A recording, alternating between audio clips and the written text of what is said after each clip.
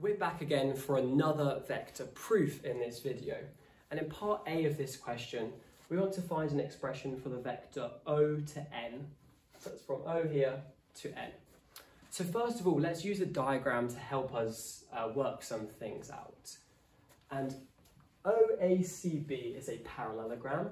So that tells us that these opposite sides are going to be equal. So this side here, OA is vector A, so equally BC will be vector A.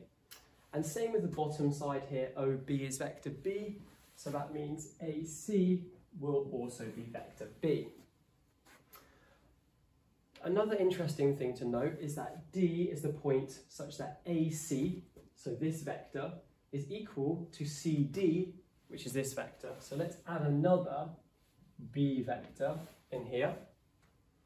And the last important thing about the diagram is that the point N divides AB in the ratio 2 to 1. So let's mark it on the diagram, this ratio 2 to 1 for these two lines.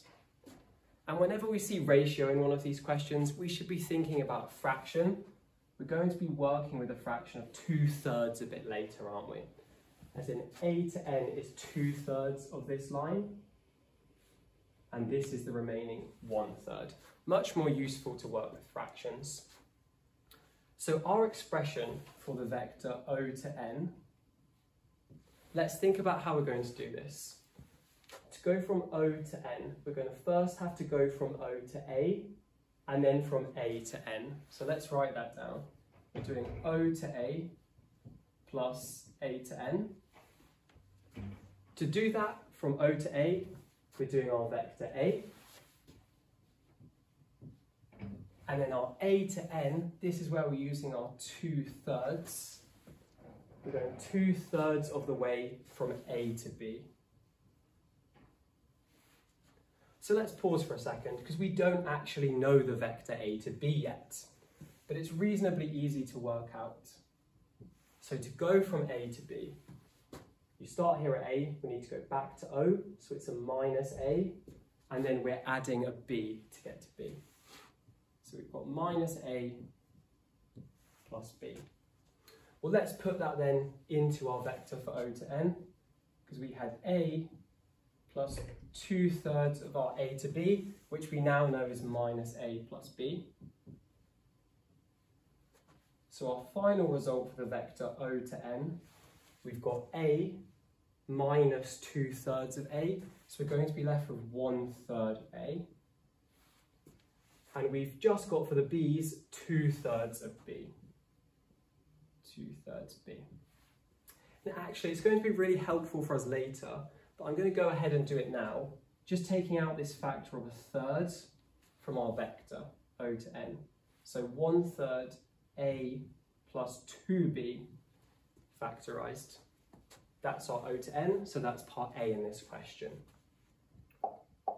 For part B, we would like to prove that OND is a straight line. And like all straight line vector proofs, let's think about the parts of this line. So we've got one part of OND, that's ON, and the other part is OD. So we want to look at this smaller part, that's ON.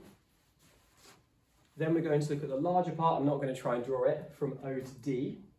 And we'd like to show that these two are scalar multiples of one another. That means they must be parallel. And the fact that they have the point O in common, that means they're in fact the same line. So let's try and find our vector then, going from O to D, because we already know the vector O to N. So to go from O to D, you need first to go from O to A, which is just vector A, So First, we're going O to A, that's vector A. And then the second part is you need to go from A through C all the way to D. And we can see that this top line is just going to be plus 2b. So we'll put here from A to D, and that's just plus 2b. This should look really good for us at the moment because we've got vector ON, which was a third of A plus 2b, now we've shown that OD is just a plus 2b. These vectors look really, really similar. So actually making it clear the relationship between them is we can say the vector ON is one third of the vector OD. This is our relationship between the two vectors. Because they're identical inside the brackets, a plus 2b, it was just that factor of one third. This means that the two vectors must be parallel, and because they have O in common, they must be the same straight line.